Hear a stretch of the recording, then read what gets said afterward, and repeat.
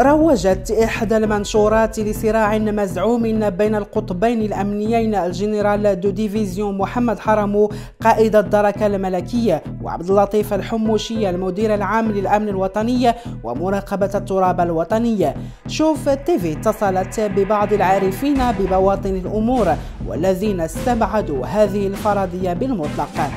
وأفاد المصدر ذاته بأنه عكس ما يروج فإن العلاقة بين القطبين الأمنيين هي علاقة تعاون حد التناغم إلى درجة غير مسبوقة باعتبار تكامل المهام بين القطبين وأن التعاون بين الدرك الملكي والأمن الوطني مفتوح على مدار الساعة. مؤكدا أن ما حدث يوم الأحد هو إهمال وقف الرجلان عليه واتخذ كل الإجراءات التقويمية والتأديبية كل في مجال اختصاصه مضيفا أن التنسيق بين القطبين الأمنيين مستمر بشكل يومي بعد أن وقفا على قصور في أداء المهام لعناصر الأمن والدرك المكلفة بحماية أمن القصور الملكية. في الوقت الذي تمارس فيه عناصر مراقبة التراب الوطني مهامها في محيط القصور الملكية بشكل اعتيادي وفي الأخير أشار ذات المصدر